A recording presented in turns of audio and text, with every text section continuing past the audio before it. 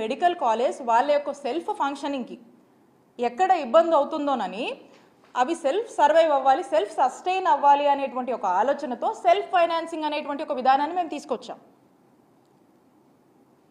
మరి ఆ విధానాన్ని ఆ రోజు మీరు తప్పుబట్టి మీరు అధికారంలోకి వచ్చాక జీవోని రద్దు చేస్తామని మీరు మాట్లాడారు కదా.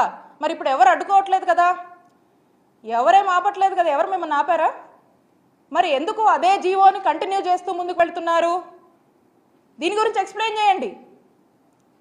దీని గురించి మీరు ఎక్స్ప్లెయిన్ చేస్తే చర్చ అవుద్ది ప్రజల్లో. ఇవేవి మీరు ఎక్స్ప్లెయిన్ చేయరు. దీని మీద మీరు క్లారిటీ ఇవ్వండి ప్రజలకి.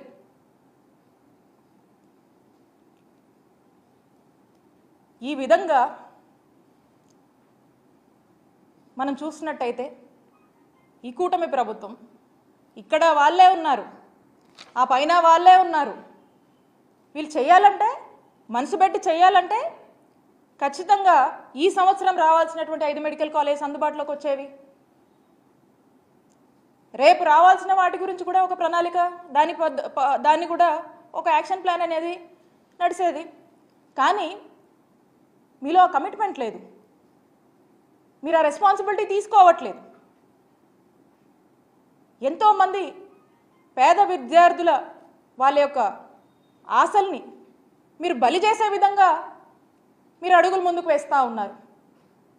ఖచ్చితంగా దీని మీద మీరు ఒక క్లారిటీ ఇవ్వాలి. దీని మీద మీరు ఎక్స్ప్లెయిన్ చేయాలి. ప్రజల్లో చర్చ జరుగుతుంది అప్పుడు. అదే చర్చ. నేను ఒక్కటే చెప్తా ఉన్నాను. ఈ కుటుంబ ప్రభుత్వానికి. నిన్న మేమున్నాం. నేడు మీరున్నారు. మళ్ళా రేపు మేము వస్తాం. గవర్నమెంట్ అనేది ఒక కంటిన్యూస్ ప్రాసెస్ ఇది ఒక కంటిన్యూస్ ఇన్స్టిట్యూషన్